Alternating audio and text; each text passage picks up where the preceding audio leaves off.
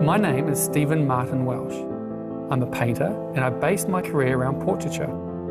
I enjoy the continual challenges that different characters bring to my work, and they allow me a huge opportunity to vary my style. And no two sitters are ever the same.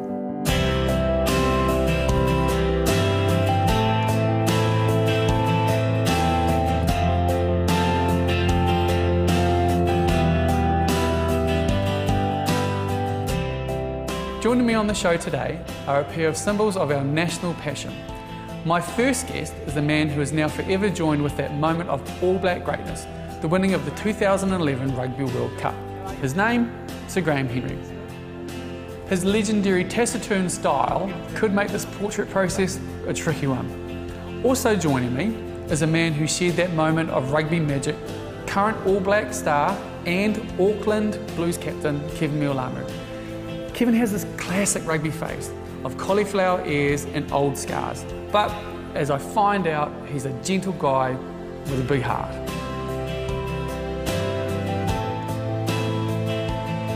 How do you feel sitting for a portrait? Because you've never actually sat for a portrait. You've had your portrait done by, I take it, by fans and maybe just people that you know and whatnot, but actually to sit for a portrait, how do you feel? Are you comfortable at the moment or is it a little bit like, a bit nervous? Um, Because I your hands are going like nervous. that at the Yeah. moment. I'm a bit nervous. I'm just wondering what the finished product will look like. Yeah. Uh, it's quite funny, you know, like I've seen a few cartoons and stuff, so they'll like blow up the air and Yeah, yeah, yeah. broken nose goes even further. And Well, it starts at, see, I've been looking at it because it starts at the top and it's, yep, yeah, but that's the way it is. Though, that's I the way it is. Yep. It's the way it is. And uh, it's you know, like I always say, it's uh, it's the price you pay for wanting to be an All Black. Yeah, yeah, a few uh, cauliflower ears and a broken nose, but it was worth it. yeah. Yep. Obviously, you're here for a portrait. Have you ever sat for a portrait before? I mean, I need That's to. why I'm sitting here. Yeah, you are. But I need to ask you. You've turned up for a portrait sitting, and you're.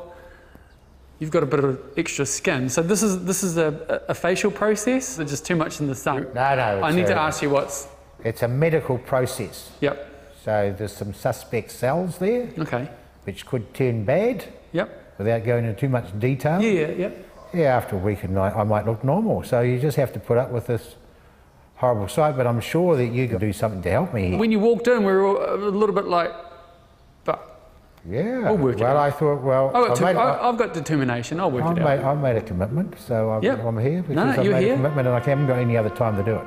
I'm looking at Sir Graham, and to be honest, it's a bit shocking that he's turned up for a portrait session with a face that's badly peeling. It's as though he's saying to me, Paint me as I am. I don't care about the opinion of others. And that's kind of typical of the man this attitude of defiance, which I guess you know, it served him well. I'll just grab a few of my, my tools. Uh, Graham, can I ask um, your early years, born and bred? Yeah, born and bred in Christchurch. Yeah. Spent a few of the very early years in Auckland because my father was a pilot. A pilot? My father was a pilot. He worked. He flew from Auckland to Suva. Oh, okay. So he, he flew flying boats, Sunderlands, Yeah, yeah, Catalinas in the war, NAC, Teal, Teal NAC probably. yeah. So in his early years, he was based in Auckland. So we came up from Christchurch, spent a few years here, then went back to Christchurch for primary school. And so your father's, um, f- did, did he fly in the war? Did I Yeah. take it that that's where he learned to fly, or was he, was he flying before that? No, he flew Catalinas in the war. Yeah. So he flew around the Pacific looking for Japanese submar- submarines. He finished school at primary school and then worked in, Lo- in, in Loburn in North Canterbury in the orchards. Yeah. But always wanted to be a pilot, so he was self-taught. Uh, the local primary school teacher helped him with his physics and mathematics, and Yeah. he qualified as a pilot and a navigator, and um, joined the Air Force and was in the Second World War. So I was, I was born and raised in Tokoroa. Yeah. Um, both my parents are Samoan and my mum was raised there as well. So uh, her parents uh, arrived there, I think, in the uh, early 60s. So pretty funny place for Samoans to go in the middle of the bush. But uh, that's where my grandparents went, and um, that's pretty much where I did most of my growing up. So it's all to do with the forestry, working in the for, you know, around that area. Is that what they originally came to New Zealand for? Um, I'm not too sure if that's what they came to New Zealand for, but uh, my granddad worked in the in the mill, and all my uncles did, and my dad worked there as well. So Yeah. it was a big, it was a big part of Tokoroa growing up, and and it was something that uh, really I think defined Tokoroa back in the days. Yeah. Could you, did you ever think that you'd work at the mill growing up? I didn't think I was going to be working at the mill where my dad worked. You know, I remember him uh, always catching the bus um, early in the morning, or or when he was on midnight shift. You know, uh, waiting for the bus to take him out to the mill. So I thought, I, I did think one day I'd be doing that, but Yeah. um, as fate had it, doing something different at the moment. Yeah. Keven is one of these people whom you come across whose face, it just needs to be painted. Rugby players, boxers, or anyone with scars or old injuries presents challenges and rewards as I try to get those misaligned features and odd contours onto the canvas. Did you have that dream as a young boy, of being an All Black? I think it was when I was standard standard three and my brother was standard four. One of one of his teachers, he said, well, "Why don't you come down to the club and play a bit of rugby?" And we'd been playing quite a bit of um, bull rush and stuff at school, but Yeah, good training, eh? Yes. Bull rush, God. um, but when, until we actually um, went down to the rugby club and played our first game, didn't realise how much we enjoyed it, and the memories of watching. Um, People, my heroes when I was young as well. I remember watching Michael Jones play Yeah. at the World Cup and stuff. So um, I got some great memories of rugby growing up. No, I went to school in Christchurch, went to secondary school in Christchurch. Uh, spent a few years getting a, a tertiary education, finished up at Otago University doing physical education. Uh, qualified 69 and then taught at Christchurch Boys where I went to school. Came to Auckland in 1973 to join the staff at Auckland Grammar School when John Graham was the headmaster. Um, he was a marvellous role model. High standards, huge discipline, high expectation of staff and students. And you've definitely taken that on board and then you've, you've Well, used hope- those hopefully principles. I have, yeah. Well, I think most people that, that probably know you and have seen you in action think that that's the way that you operate. Yeah, well, that's nice. Yeah? Hmm. Would that be a fair assumption? Or, I mean, because Well, you learn, you learn from a lot of people, don't you? I'm finding it a challenge having to chat with Sir Graham. He's got such a layer of armour that he wears. And I guess that's the coaching thing that I'm even, you know, finding it hard to make a connection. I'm still trying to get around the skin issue, you know, how am I going to paint this portrait? I'm struggling and it's, it is a real challenge. I have a picture of the face that I know of Graham and I think I'm just going to have to take those images and try and put those on canvas.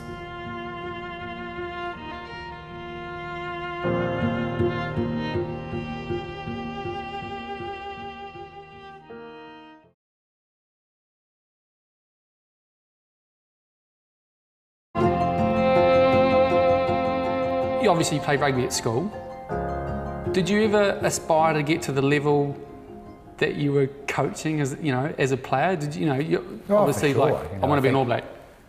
Oh, for sure. I think, uh, you know, I played first 15 rugby at school and I enjoyed that experience. We had a very good side. We were undefeated and had aspirations to play at a high level. I hadn't achieved any great heights as a player, but I was uh, a passionate trier. Mm-hmm.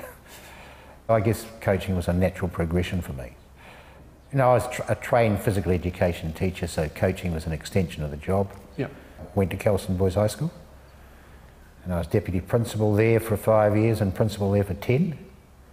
And I resigned as school principal in 1996 and became a professional rugby coach. Mm-hmm. And I guess the rest is history. So you're at school. I mean, do you remember the the impressionable years with sport? Do you remember like moments when you've scored a winning try or you've you know you've been an integral part in your team winning? I mean, I think for me, one of the things that really stand out, and I remember remember it vividly, was when I um, missed out on one of the teams, um, and because it was a weight division, yeah, uh, I remember going into the weigh-in, and I was over by a kilo or 500 grams or something. Yeah, not far. So uh, I remember because my brother made it in, he was under, and everyone else was under. I was the one that missed out because I was I was overweight. Yeah.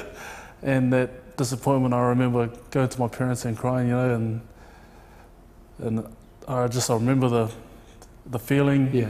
and I can see everything real clearly today. And this is when I was standing full. It's it's still been with me to this day. Those memories, does that sort of help you focus today because you don't want that disappointment again?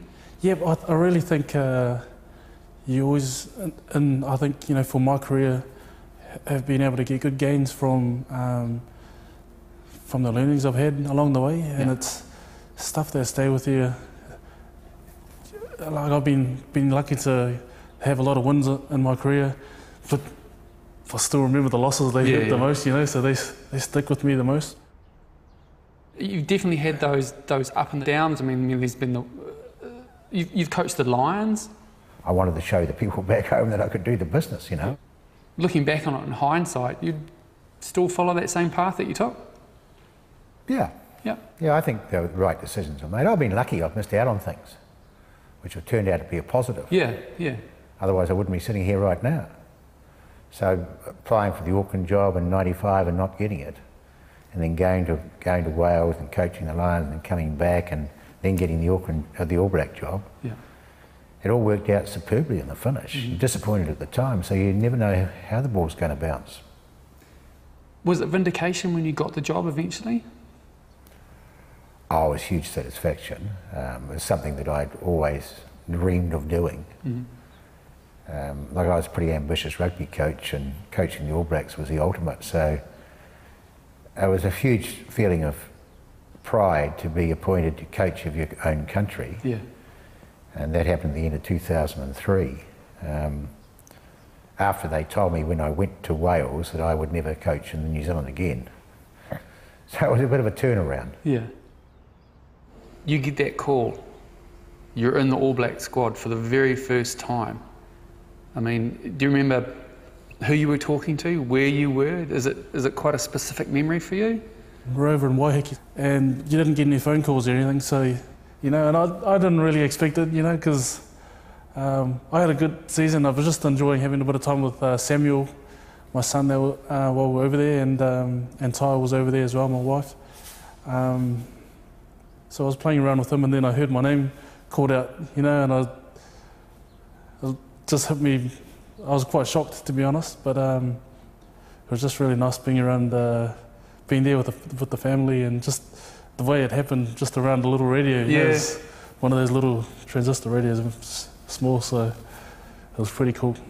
What is the proudest moment of, of to date of your All Black career?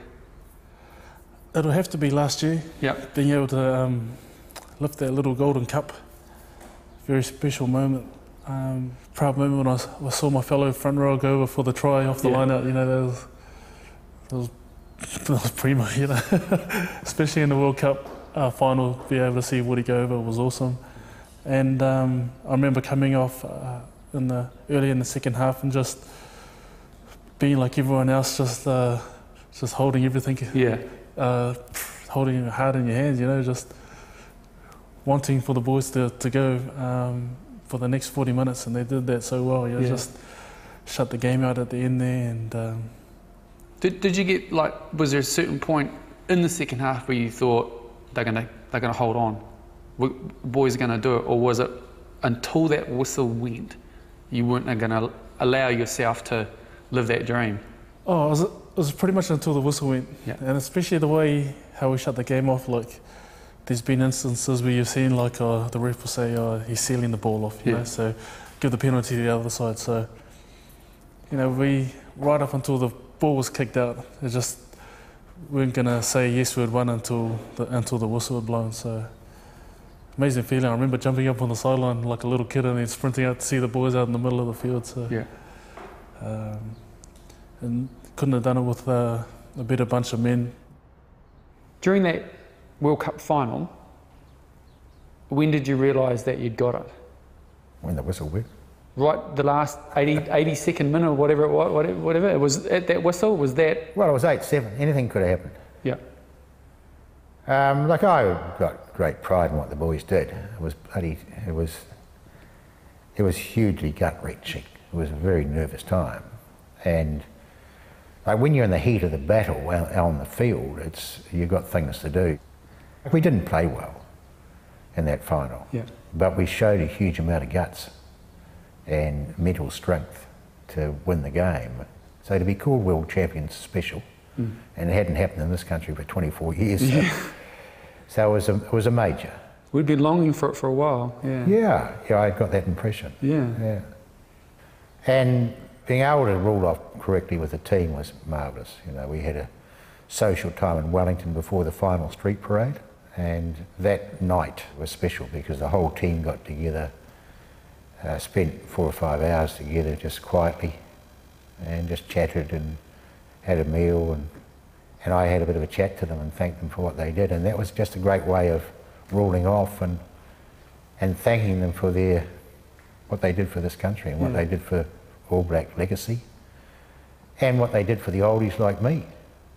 You know, so it was a good way to rule off and, and say, look, I'm I'm I'm finishing. It's Yeah. uh, it's been a privilege to, to be involved.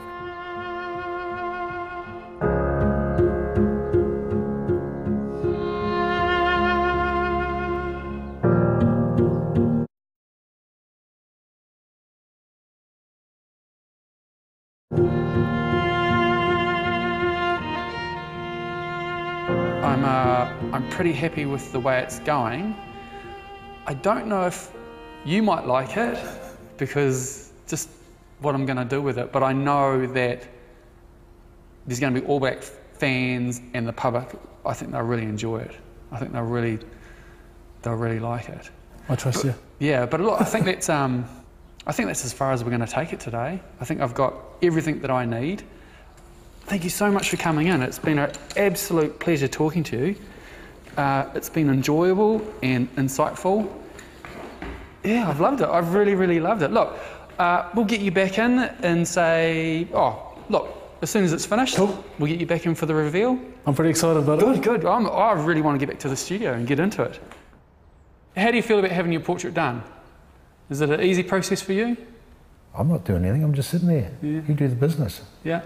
I'll, I'll make a judgment after it's been done. I'll see if you're any good or not. I, I hope you're going to improve me. Okay, Graham. Um, we're done, pretty much. Very Let me put this uh, materials down. How's Thank the you. portrait coming on? Uh, Can I have a look? early stages. No, you can't. Oh, okay. No, no. Wait till the final whistle. Yeah, they're always very sensitive, these people. eh? Oh yeah, yeah, yeah. Yep. Look, we'll get you in as soon as it's done, Okay. and, uh, and you and Keven can uh, feast your eyes.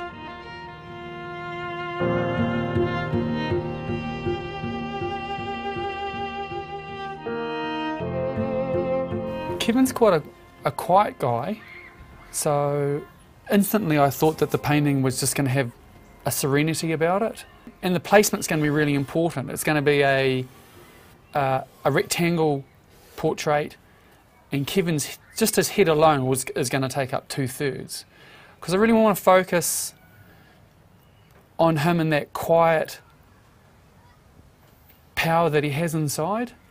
I really picked up on that while we were talking. Uh, he's still got quite a boyish face, even though I didn't actually realise how badly broken his nose was until I actually started this painting. It was like, and everything's off centre, and I keep going back to fix it, but it's like, no, no, no, leave it because that's that's the nose, that's where it is. Just before we started the shoot, the interview with Graham, we went outside to the foyer to meet him, and I think he must have seen my face drop because I was not ready for the face peel. Um, to be honest, I panicked a little bit. I thought, what am I going to do? Am I going to am I going to do a true representation of what I see in front of me, or am I going to tweak it somehow? On a normal painting, you know, I'll have at least 12, 12 basic colours that I use. Sometimes it's just too noisy. By limiting the palette to one or two colours, you just you can cut down um, just some of the, the extra volume that, that colour can give to the painting. And I see him sort of in a black and white form, well, I'm just cutting out the noise.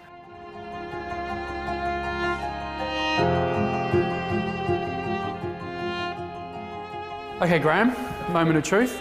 Yes. How you feeling, all right? Yeah, very good, thank you. Good, good. Well, look, let's just get into it. Yep, I'll get you to stand right there. Yep. I'm just going to go and uh, put the painting on the easel, if you can just not turn around. Yes, I'll, All good? I'll try and do that. I'll try and do as I'm told.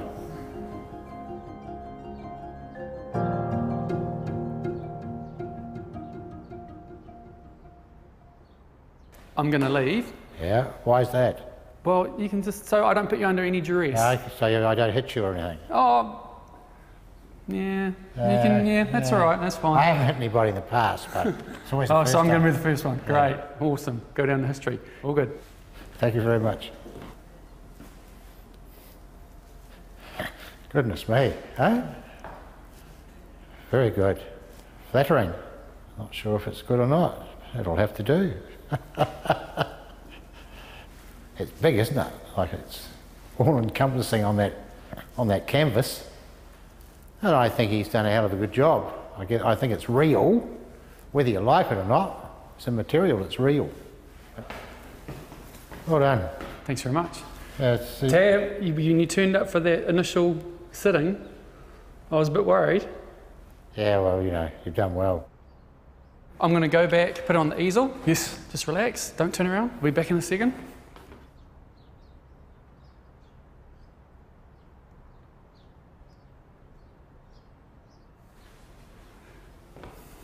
It's up. I'm going to leave. When you're ready, just turn around. We'll do. It's easy. It's- you just got to turn around. Good luck, mate. Cheers, matey.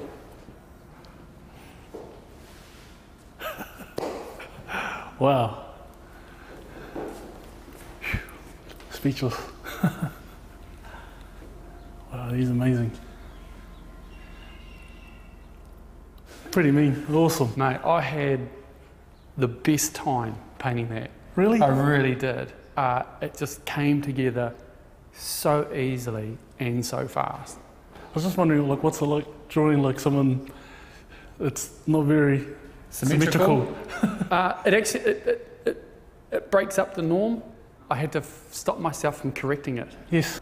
I just can't believe, like, it's like me looking in the mirror, like, it's, it's me exactly, yeah. Yep, that's pretty much on the button, that. Yeah, I think it's probably me, is it? but as I say, flattering. But I thought I would put it on the mantelpiece, keep the kids away from the fire. Keep the grandchildren away, I think. you think the eyebrows are up? What's that? The eyebrows, you think they're up? Mm-hmm. Always raised, always aware. You're a good man. Oh, Just do a bit of work on it. what do you reckon? He looks like an All Black hooker who's played about 96 test matches. How many has he played? Uh, 92. If I look at that, it's like me looking in the mirror. Yeah, no, he's, he's not bad, is he? He's got some ability, this man. Do you know who he is?